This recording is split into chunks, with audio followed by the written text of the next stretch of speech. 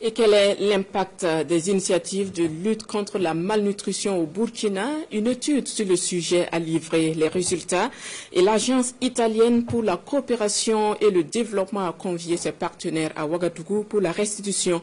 À l'issue de la rencontre, de nouvelles perspectives de lutte contre la malnutrition au Burkina sont envisagées. Kwalen Ebié et Tramanso pour le compte-rendu. C'est une rencontre des acteurs de développement initiée par la coopération italienne. Elle vise à créer un cadre d'échange de bonnes pratiques et d'expériences dans le secteur de la nutrition.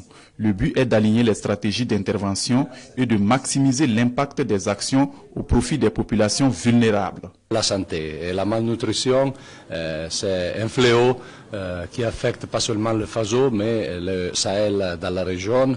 Donc, euh, pour nous, c'est central, l'Italie, de soutenir les populations locales. Euh, dans un moment de crise comme celui-là qu'on va vivre depuis 2015, euh, c'est de plus en plus important d'intervenir euh, en faveur des populations plus marginalisées. L'axe principal d'intervention de la coopération italienne est la lutte contre la malnutrition. De 2015 à 2022, elle a financé des initiatives au profit de 830 000 bénéficiaires. 100 000 femmes euh, enceintes et mères d'enfants ont été touchées donc par ces interventions. Également, plus de 100 agents de santé et 400 agents de santé à base communautaire ont été donc euh, renforcés.